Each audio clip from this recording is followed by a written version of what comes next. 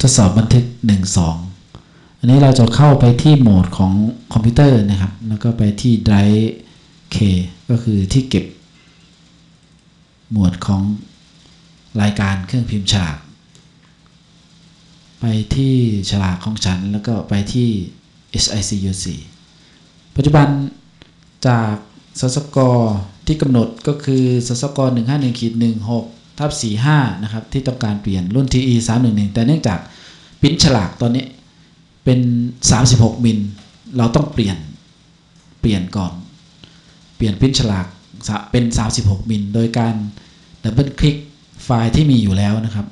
ก็มาเปลี่ยนเปลี่ยนเปลี่ยนฉลากตรงนี้ครับตัวขนาดเทปก็คือขนาดเทปที่ใส่อยู่ในเครื่องตอนนี้คือ 36 มิล เราต้องเปลี่ยนเป็น 36 มิลก่อน โดยการ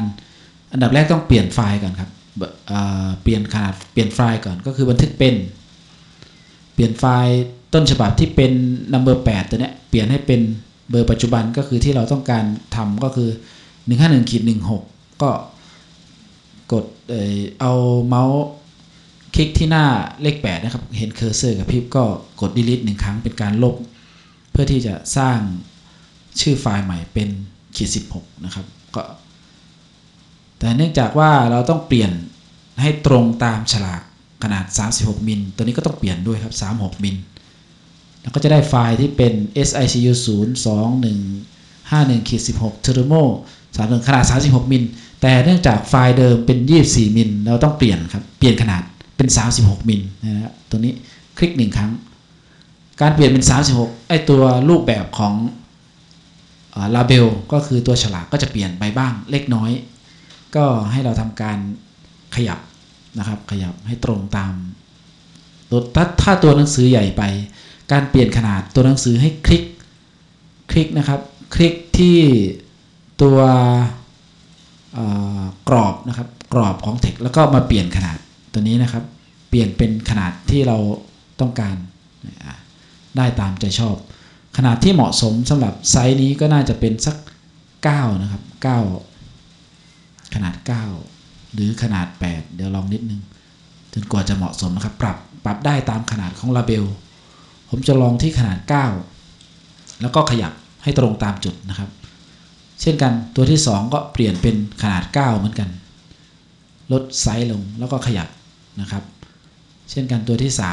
3 ก็เปลี่ยนขนาดเป็นขนาด 9 แล้วก็ขยับหาจุดที่เหมาะสมนะครับ ตัวที่ 4 ก็เช่นกัน อเปลี่ยนเสร็จก็ขยับหานิดนึงเช่นเดียวกับตัวชื่อภาษาไทย ตอนนี้ก็เปลี่ยนขนาดเป็นขนาด 9 นะครับ ชื่อภาษาอังกฤษ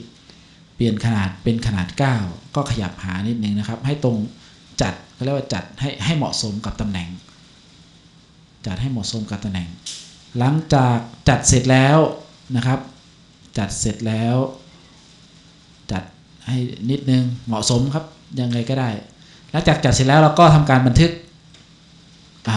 บันทึก แต่สังเกตไหมครับว่า ชื่อไฟล์ sicu02151.16 กับชื่อลาเบลที่อยู่ข้างในเนี่ยยังไม่ตรง แล้วก็แก้ให้ตรงกันซะ เป็นไฟล์ใหม่ที่เราต้องการคลิกที่หน้าเลข 8 แล้วก็ delete หนึ่งครั้งก็ใส่เลข 16 เข้าไป จากเเอกสารที่เราจดมาเนี่ยก็คือมันเป็น 151.16ทับ45 ก็ตรง45 t h e r m o TE 151 NH อันนี้ก็ตรงนะครับ เป็นเป็นรุ่นที่ตรง แต่ตัวที่จะต้องเปลี่ยนอีกตัวหนึ่งก็คือตัวเขาเรียกว่าเป็น serial number นะครับ serial number เราจดตัวไหนมาก็เปลี่ยนไปตามนั้น อย่างเช่นที่จดมาก็คือ 0 1 1 1 0 1 1 1 อันนี้มันไม่ตรงแล้วก็เปลี่ยนเป็น 0 1 1 1 0 1 1 1 นะครับ เมื่อเปลี่ยนเสร็จแล้วก็จัดอีกนิดหน่อย ถ้ามันไม่ไม่โอเคนะครับ ถ้ามันตรงแล้วเราก็อันนี้คือลักษณะการทำฉลากขนาดไซส์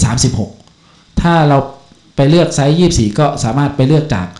ตัว label นะครับ ตัวเนี้ยก็ดูที่ไซส์ด้านหลัง 36 ก็คือตัวใหม่ที่เราแก้เมื่อกี้นะครับ คือตัวนี้นี่ครับ 16 36 ที่เรากำลังทำอยู่ตอนนี้ คือตัวนี้ ทีนี้ถ้าเสร็จแล้วก็บันทึกนะครับ ตรวจตรวจสอบฉลากทั้งหมด แล้วก็บันทึกแล้วก็พิมพ์ สั่งพิมพ์ได้เลยครับ เพราะเครื่องพิมพ์ตอนนี้ต่ออยู่แล้ว เป็นการเสร็จขั้นตอนการเปลี่ยนฉลากจากขนาด 24 มิลเป็น 36 มิลนะครับ